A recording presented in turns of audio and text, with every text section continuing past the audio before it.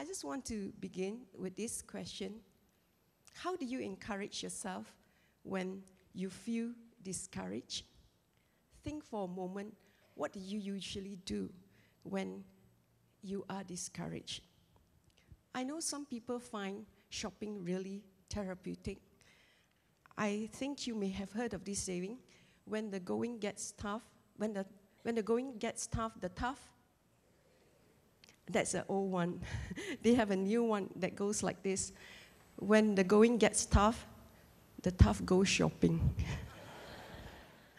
there was a survey that was conducted um, among men and women, and they found that more than half the men and women actually admitted to resorting to engaging in retail therapy, the act of spending and um, the act of shopping and spending to improve one's mood.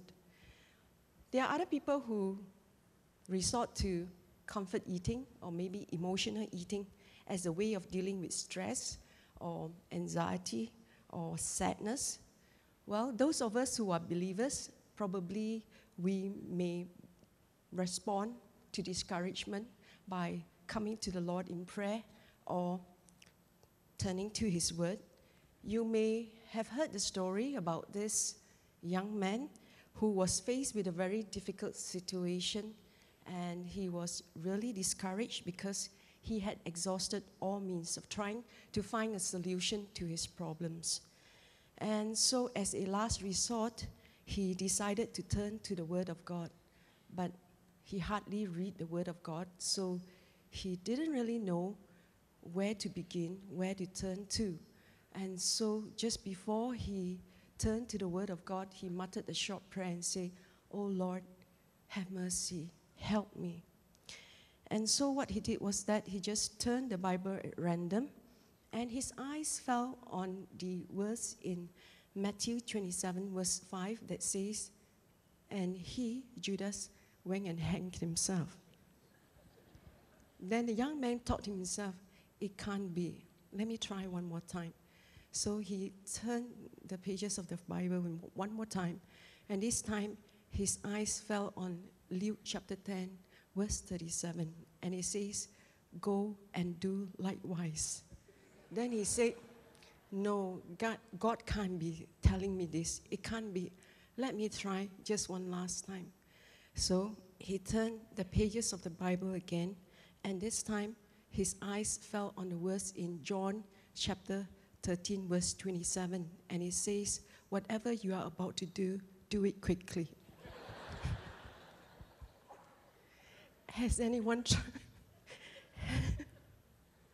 Has anyone tried this random method of trying to seek God's direction? Please don't raise your hand. if ever God spoke through us through this random method of finding direction, it is out of His great mercy and grace for us. Uh, most times, God's wisdom and direction comes to us through our knowledge of His Word. And just at the right time, just at a time when we most needed it, He would bring a specific, His Holy Spirit will quicken a specific word to our hearts just at the right time when we need it. And some weeks ago, when I was feeling kind of discouraged I sought the Lord for a word of direction and comfort. And I was led to read Psalm 119, the longest chapter in the Bible. Now, I have read this psalm on different occasions, and there was really nothing in particular that struck a chord. But this time, as I was reading it, literally it was as though the words were jumping out at me. And in particularly, in particular, the words with all my heart, which is the message, the title of my message for today. And on, you will find that on at least six occasions, the word with all my heart is repeated in this psalm. And on three occasions, it has to do with seeking God with all my heart. Psalm 119, verse 2 says, Blessed are those who keep his statutes and seek him with all their heart. Psalm 119, verse 58, it says, I have sought your face with all my heart, And on other occasions, when the word with all my heart is mentioned, it has to do with obey with all my heart or call with all my heart. And as you read the psalm, you will find that there are other words that goes like this. All your words are true. Your statutes are fully trustworthy. I will consider all your precepts. I will keep all your precepts with all my heart. So, what was the Lord trying to tell me? Very simply, that I was to be wholehearted in my pursuit of Him, like the psalmist who treasured His word above everything else. And if I were to seek Him with all my heart, to know Him and to understand His ways, I will never fail to find Him in my time of need. The more I know Him, the more I will understand the way He works in my life and through my life, in and through my ministry. What does it mean to seek the Lord? To put it simply, seeking the Lord means seeking His presence. And presence is a common translation of the Hebrew word face in the Old Testament. Many times in the scripture, you will find that God's people are encouraged to seek his face. For example, Psalm 105, verse 4 Look to the Lord and his strength, seek his face always. A person's face, right, reveal much about his character and his personality. When we talk about seeking God's face, it means that we are seeking to know him, to understand his character, and hear his voice more than what he can give to us. And it is interesting to note that while scriptures talk about seeking God's face, there is no mention even once of seeking God's hand. And there's a huge difference between seeking God's face, which is his God's person and presence, and seeking his hand, which is God's power and blessings. You see, if we seek God's face, sorry, if we seek God's hand, we will very likely miss his face. But if we seek his face, we will find his hand of power as well. The secret to experiencing the power and blessings of God is to seek the manifest presence of God. To put it simply, seek God to know Him and not just to get things from Him. Seek God to know Him, not for what you can get from Him. So, if what is your need this morning? Don't just, if you're seeking healing, don't just seek healing, seek the healer. Seek the Lord. He is not just the giver, but He is both the giver and the gift. And I would say that He is the greatest gifts among all other gifts that we are seeking for. The gift of God's manifest presence in leading us, in guiding us, in working in us and through us. This is what makes a difference in our lives and that which sets us apart from people who do not know the Lord. Scriptures provide numerous examples of how the presence of the Lord empowers his people to live for him. And one of the most powerful examples in the Bible is the life of Moses. And Moses was very convinced that without God's manifest presence in his lives, it was actually useful, useless for him to attempt anything else. And that's why he said to the Lord in Exodus chapter 33, he said to the Lord, If your presence does not go with us, do not bring us up from here. This was his prayer to the Lord in Exodus chapter 33, verse 13. He says, if you are pleased with me, teach me your ways so that I may know you and continue to find favor with you. So Moses' prayer to the Lord was, Teach me your ways so that I may know you and continue to find favor with you. Then, when we read Psalm 103, verse 7, it says, He, the Lord, make known his ways to Moses his deeds to the people of Israel. Notice the difference. God's acts or deeds were made known to the entire nation of Israel, but his ways were only made known to Moses. And it, this was in answer to Moses' prayer. And the Lord showed him, make known to Moses his ways, his character, the laws of his providence, the grand purposes of his heart. But unlike Moses, the people of Israel did not want to know God's ways. They actually preferred to have a go between so that they don't have to come, they didn't have to come into the presence of God for themselves. When the Lord made manifest his presence on Mount Sinai, the people were afraid and they said to Moses in Exodus 20, verse 19, Speak to us yourself and we will listen, but do not have God to speak to us, or else we will die. They, they witnessed many, many mighty acts that the Lord performed in their midst. They saw the parting of the Red Sea. They witnessed the provision of the daily manna. They saw the cloud that led them by day and a fiery pillar that led them by night. And there was a long list of miracles that we witnessed, but their hearts were hardened to such an extent that God actually called them a stiff necked people. They were only after the demonstration of God's acts, but they were not interested to know Him, to seek Him, and to know His ways. And is it any wonder why they were wandering in the wilderness for 40 years? What about you and me this morning? I think it goes without saying that all of us would like to see the demonstration of the acts of God, isn't it? But the question is how much time are we devoting to seeking to know God and to learn His ways like Moses? What drives you to seek God and His presence?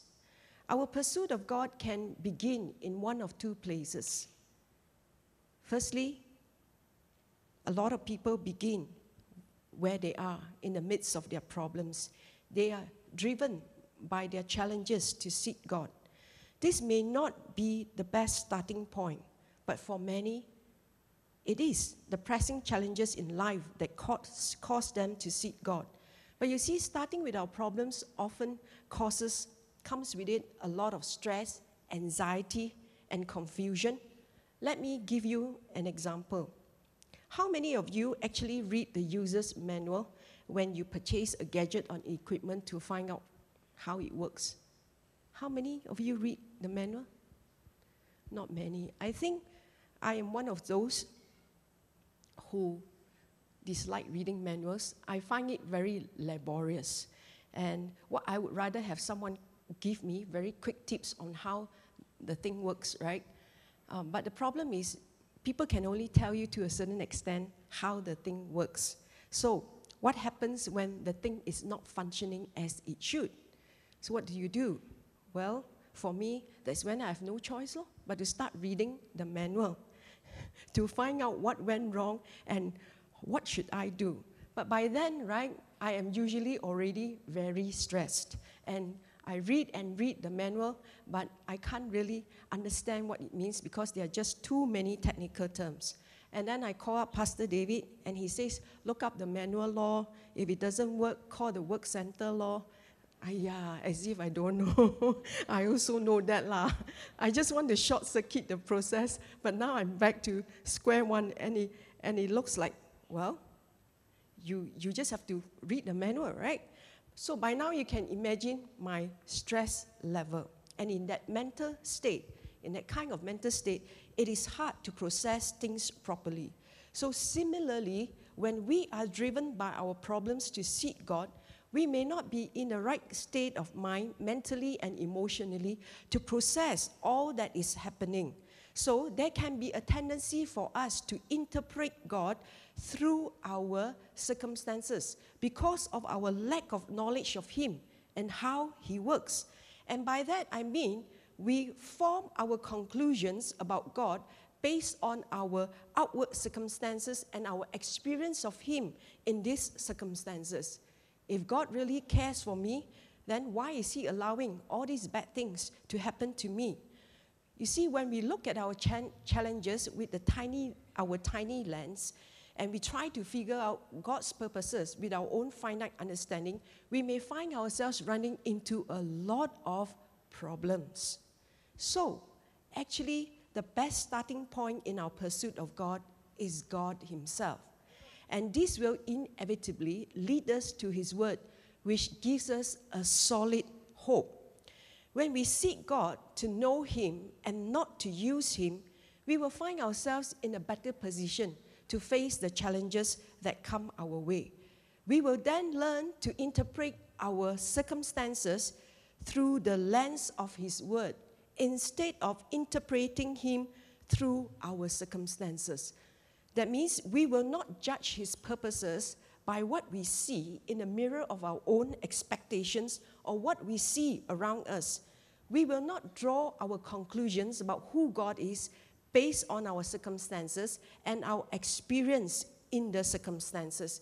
Given the same set of challenges, we, would, we will not question His love for us we will instead look at our circumstances and begin to interpret it through the lens of God's word.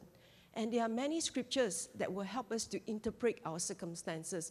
And we will now remember the words of Jesus in John 16, verse 33, that tells us, Here on earth you will have many trials and sorrows, but take heart, because I have overcome the world. So when we interpret our circumstances in the light of God's word, through the leading of His Holy Spirit, of course, we will always find Him every time. But if we look for God elsewhere than other than His word, we may not find Him in our time of need because we may be looking in all the wrong places for Him, and we have our own presupposition of how He ought to work things out in our lives. So, what drives you to seek God and pursue His presence? If our primary motivation for pursuing God is to seek Him for a victory and breakthrough in a specific of area of our lives, it is very likely that we may not last very long in the pursuit. Often the pursuit ends when we have already received that victory or breakthrough. But when we seek God for Himself, that is to know Him, He will reveal Himself to us. The more He reveals Himself to us, the more we will know Him. The more we know Him, the more we will understand His ways and His heart towards us. And that's why the Apostle, pray, the Apostle Paul prayed for the Ephesians. Ephesians chapter 1, verse 17. He says, I keep asking that the God of our Lord Jesus Christ, the glorious Father, may give you the spirit of wisdom and revelation so that you may know Him better. We know God primarily through His Word, but we cannot approach the Bible like any other book because it's a very different book. And if we read it like a textbook, or because we have to finish our one year Bible reading plan, or we have to fulfill some requirements like the Royal Rangers or the Missionettes, we will find that you won't get anything out of it because your motive in the first place was not to seek the God of the Bible. It was just to fulfill an obligation and some requirement.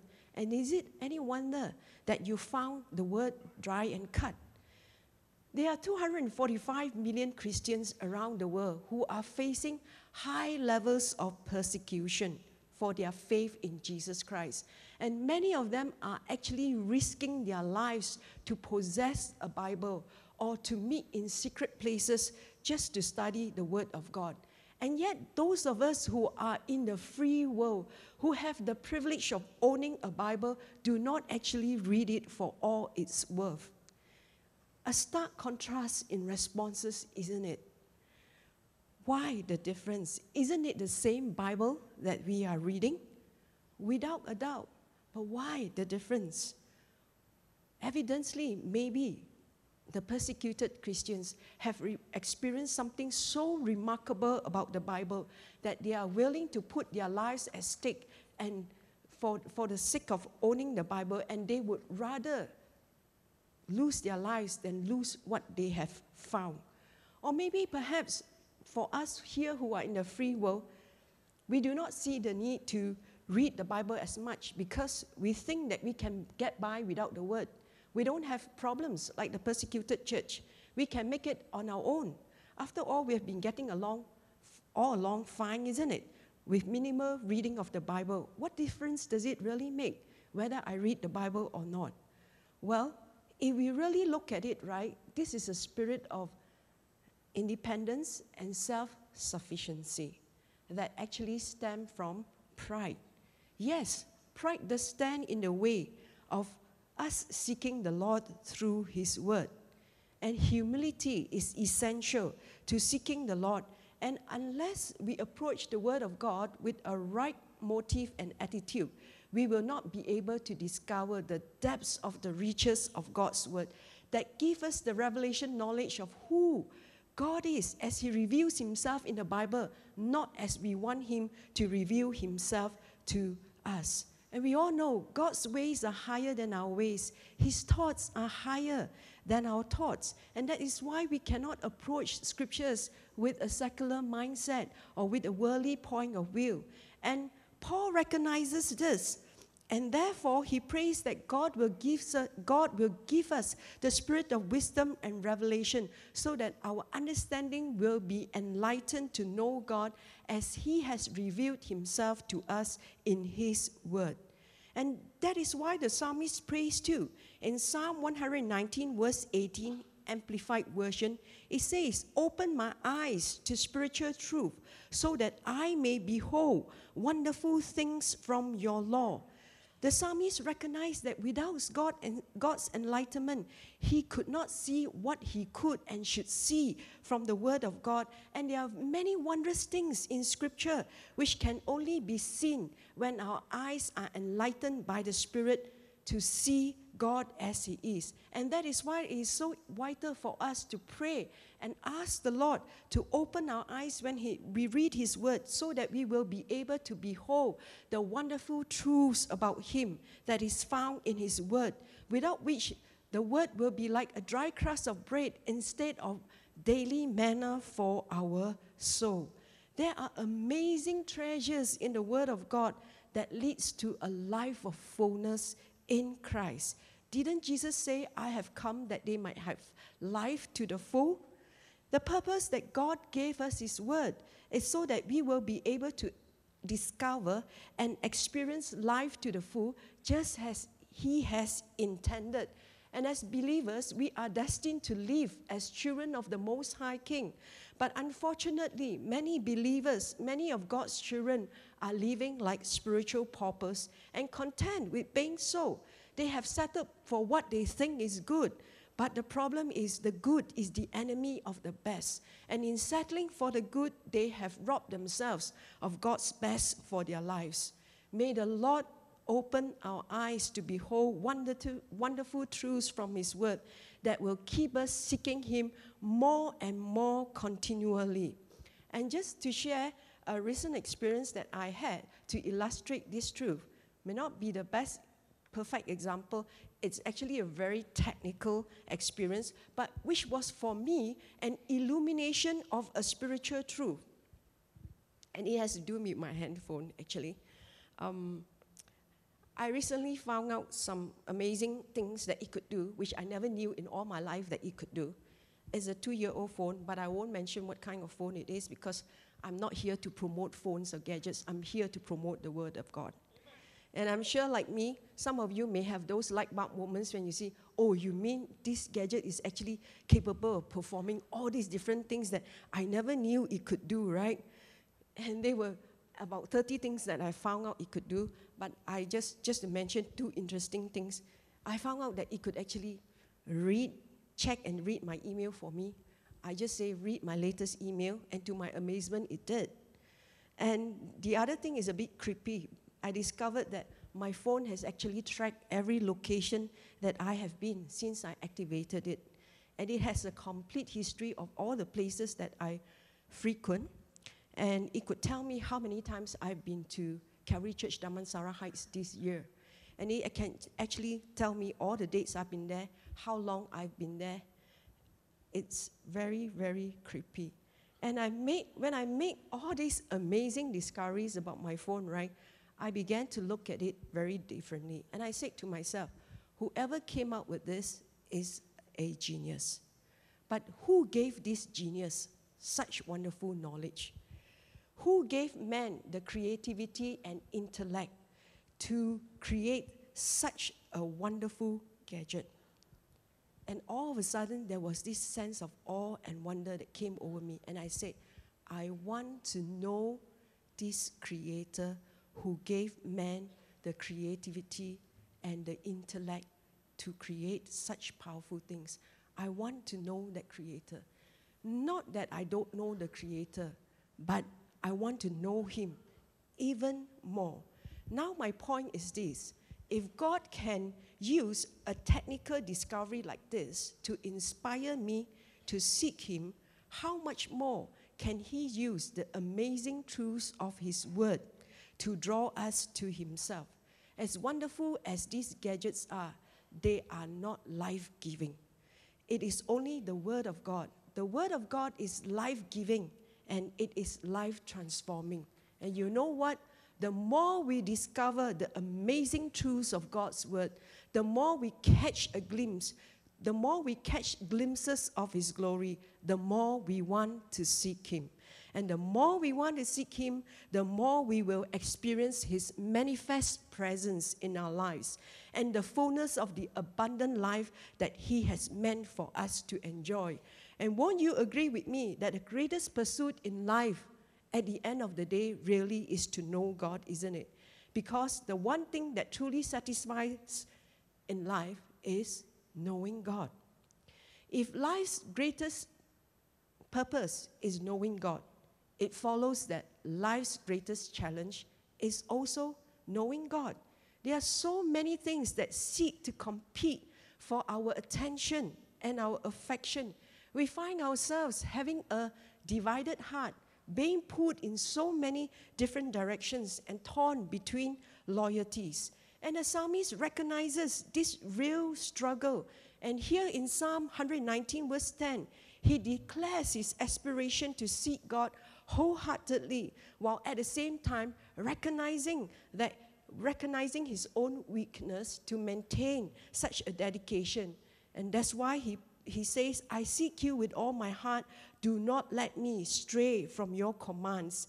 And he sees the potential track of many things that stand in the way of him seeking God and following God wholeheartedly. And that's why he prays in verses 36 to 38. He says in the Amplified Version, Incline my heart to your testimonies and not to dishonest gain and envy. Turn my eyes away from vanity, all those worldly, meaningless things that distract. Let your priorities be mine and restore me with renewed energy in your ways. What are some things that distract you from seeking God? Is it your work that is consuming all your time and energy so that you come home so tired and with no time to do anything else? Is it something that you do during your free time, seemingly to de stress and to relax and that has now become an addiction and which robs you of the time that you could actually have spent in prayer and reading the Word of God? Is it that gadget in your hand that causes you to be glued to its screen for the bigger part of your waking hours? Whatever the distractions may be, will you pray like the psalmist? Lord, incline my heart to your word Turn my eyes away from things that distract and let your priorities be mine. Why do you think scriptures exhort us to seek the Lord with all our heart? Why? Why is it that scriptures often exhort us to seek the Lord with all our hearts, to love the Lord with all our hearts? Because God knows this that if we seek Him with 50% of our heart, there can be a tendency for the other 50% that is devoted to other things to overtake whatever affection we have for Him. And in time to come, it can even totally snuff out our desire for Him. We just don't backslide overnight, right? Usually it begins with a little slack here, a little slack there, and before you know it, you find yourself dragging your feet to come to church, and you rather find seemingly more profitable, more profitable things to do at home on a Sunday rather than to come to the service and listen to the same old, same old sermon. Now, seeking God is not just about turning away from the things that distract or draw us away from God, because really it's not about don't do this because it kills your desire for God, but it is uh, also about what can I do to fuel my desire to seek God. If we are to seek God with our whole heart, we must be convicted of the worthiness and the value of the one we are seeking.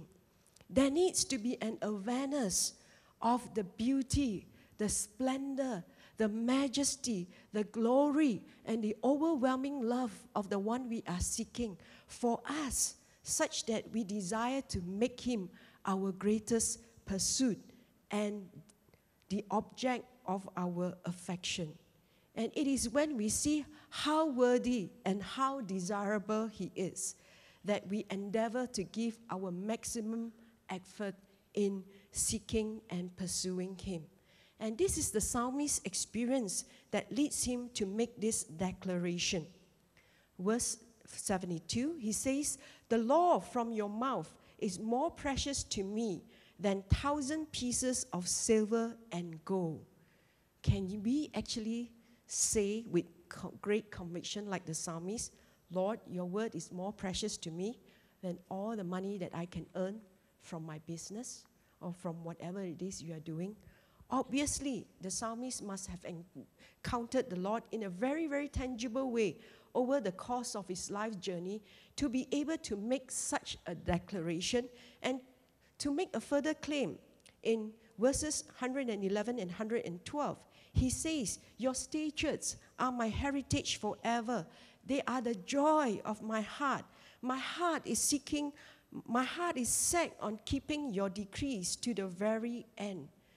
Do we, like the psalmist, rejoice in the word of God with such deep, heartfelt joy that it just inspires us to keep and obey his word to the very end? Of course, we do not arrive there overnight, isn't it? It is a conscious choice on our part to direct our heart towards God. I think we all know that our heart is prone to wander. And so, if you don't direct your heart toward God, your heart will direct you and lead you away from God. Seeking God is the conscious, consistent fixing of our mind's attention and heart's affection on Him. The psalmist says in verses 30 31, I have chosen the way of faithfulness. I have set my heart on your laws. I hold fast to your statutes, Lord. Do not let me be put to shame. While seeking God is a conscious effort on our part, we need to realize that we cannot do it on our own we need to ask the Holy Spirit to help us in our pursuit of God. It was the Holy Spirit who drew us to put our faith in the Lord Jesus Christ in the first place. And He is here to reveal Jesus to us more and more as we acknowledge our humble dependence on Him and as we make room for Him to work in our lives. We have talked much about pursuing God. What is the outcome of pursuing God. Hebrews chapter 11, verse 6 says, Without faith, it is impossible to please God, for he who comes to God must believe that he is, and he is a rewarder of those who diligently seek him. How does God reward those who diligently seek him? He rewards them with his manifest presence. Listen to what the psalmist says in verses 150 to 151. Those who devise wicked schemes are near, but they are far from your law. Yet you are near, Lord, and all your commandments, all your commands are true. The psalmist was very keenly aware of God's manifest presence with him in a time of danger where the wicked who opposed him were coming closer to him and posing a real danger to him. Are you just as confident of God's presence with you when you are confronted with evil? The level of confidence that you have in God will come from your consistent times of seeking Him. Because when you have experienced His presence in the sanctuary, you can therefore be confident of His presence with you when you are confronted with evil. Secondly, those who seek the Lord diligently can be confident in the promises of His word during challenging times. The life giving word of God is able to give us a hope that keeps us going. The psalmist says in verses 49 to 50, he says, Remember your word to your servant, for you have given me hope. My comfort in my suffering is this your promise preserves my life. To those of you who are going through difficult challenges during this time, what is your comfort? Your comfort in the midst of your suffering is this God's promise, God's promises preserve your life. Thirdly, those who seek the Lord will experience his preservation power. Verses 90 to 92 your faithfulness continues through all generations. You establish the earth and it endures. Your laws endure to this day, for all things serve you. If your law had not been my delight, I would have perished in my affliction. I like this. If your law had not been my delight, in other words, if the word of God had not been my delight, I would have perished in my affliction.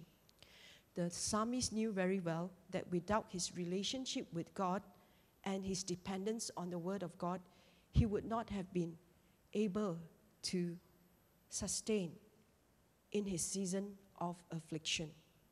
It was God's word that gave him the supernatural strength to go on. Fourthly, those who seek the Lord will experience his peace. Verse 165 Great peace have those who love your law, and nothing can make them stumble. The psalmist expresses the deep seated peace that those who love the word of God enjoy despite the outward circumstances. Wouldn't we want to experience such peace that nothing can rob us of in our moments of anxiety and calamity. These are just some of the wonderful manifestations of God's presence that those who know Him experience. There are many other things. But I would like to just conclude with this scripture that is found in Jeremiah 29, verse 13. It's a very familiar verse, and it says, You will seek me and find me when you seek me with all your heart. This promise was given by the Lord to the Israelites when they were in captivity, when they were in exile in Babylon, far away from Jerusalem, where they used to worship God in His holy temple. And this promise was given amidst a, during a time when they were really hopeless, when, they, then, when the future seemed so bleak. This promise was given to them, and the Lord said, you will seek me and find me when you seek me with all your heart. You will seek me and find what? Freedom from your captivity, hope against all odds, solution to your problems. It is interesting to note that God did not promise us that we will find the things we are desiring for when we seek Him. He only promises us that we will find Him when we seek Him with all our heart. He is our very rich reward, far better than anything else we could ever long for. Because when we have Him, when we find Him, we have everything else we need. And this is God's promise to us this morning.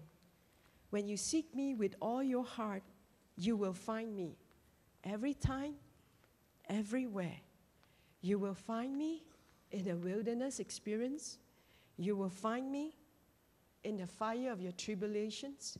You will find me in the eye of the storm, in every season, even periods which seem so barren, so devoid of real purpose, so lacking in joy and victory. I will be there. Will you just close your eyes for a few moments? I have said many things, but will you just for a few moments close your eyes and let the Word of God sink in?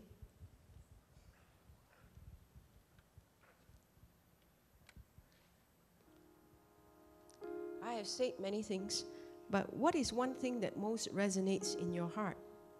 The thing that resonates most is where God is soliciting a response from you. So, what are you going to do about that particular aspect that He is bringing to your attention? He is bringing your attention to. You know, it's not just so much about asking God to help us to overcome a certain situation or to break free from a habit or to remove a distraction or to stop doing something we know is hindering us in our walk with God. But I think what is more important, what is important is for us, for you as you come to Him and to say, Lord, I hear you and I'm responding to you.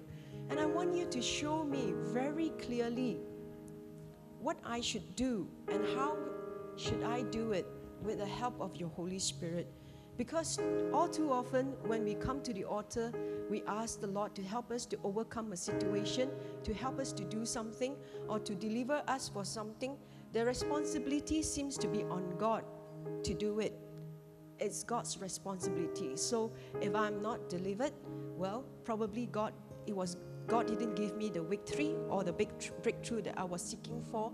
But when we come to God and ask Him very specifically to show us what steps we can take for Him to deliver us and to help us in a particular situation, when we do this, we are taking responsibility for our spiritual walk. And when we take responsibility for our spiritual walk, when we take the responsibility to change, God will empower us and He will do His part in giving you the victory without a shadow of a doubt. In a moment's time, we will be opening up the altar, and I know that there are many people who have many needs in our midst. And can I suggest that whatever need it may be, whether it be a need in your family, in your work, in your finances, in your studies, in your ministry, in, in your relationships, in your health, or your future direction, can I make this suggestion that as you come, you come not just only presenting your needs to God, but as you come, you ask the Lord to teach you to seek Him and to know His ways and to understand to understand His purpose. Because we just don't want Him to make known His acts to us like the children of Israel. But we want Him to make known His ways to us like Moses. Because when we just don't want God to provide for us for one situation after another, but at the end of the day, we find that we don't really know Him and we are very unfamiliar with the way in which He works. But you know, if we ask God to teach us to know His ways and to understand Him, then we find that when we are confronted with a difficult situation, we will not be easily shaken because we are familiar with Him and the way He works. We know His heart, and then we can affirm our faith and our trust in Him. And you know what? God always honors faith because without faith, it is impossible to please God. So, can we arise at this time? And as the worship team would lead us in a song, feel free to make your way to the altar and know that God is here to meet with you. And when you seek Him, you will find Him. In every situation, you will find Him. He is your very rich reward. Will you do that? just to take a few moments, if you have been prayed for, to just thank the Lord, to thank the Lord and praise Him, praise Him because He is worthy. He is worthy. Praise you, Lord. Hallelujah. Thank you, Jesus. Thank you, Lord. Father, as we come with one desire, and that is to seek you with all of our hearts. We have this blessed assurance and that confidence that with all your heart, you love us. And because you love us with all of your heart, you desire your very best for each one of us. So, Lord, we thank you this morning with great confidence. We are assured that before we bring to you all, all of our needs and challenges and difficulties, we want to say to you, our greatest desire is to love you. To love you with all of our hearts. And with that love and that desire comes the knowledge to know you. To know you. And the more we know you, the more assured we are of living a victorious Christian life. Thank you, Lord. Praise you, Lord. There's nothing, there is absolutely nothing that you will, cannot do, nor will you not do what is good for every one of us. And with this, Father, we know. We know today as we stand in your midst and around the altars, we once again give of ourselves to you. A refresh, a renewed dedication, consecration, devotion, commitment, all of our hearts, all of our hearts. Hallelujah. Thank you, Lord. Thank you, Lord. Thank you for your love. Thank you for your love that is pouring out, pouring down, pouring into our lives right now. Thank you, Father. Receive His love today. Receive His love today. Receive His assurance today. Receive the Father's love today as we respond in our love towards Him. And as we do that, as we do that, everything that you are asking, every need that you have, every pain, every fear, every uncertainty. Some of you, you are so uncertain what the future will hold for you. You are so uncertain what others, how harmful others are towards you. Uncertainty over the future, uncertainty over your job situation, and young people, uncertainty over what lies ahead.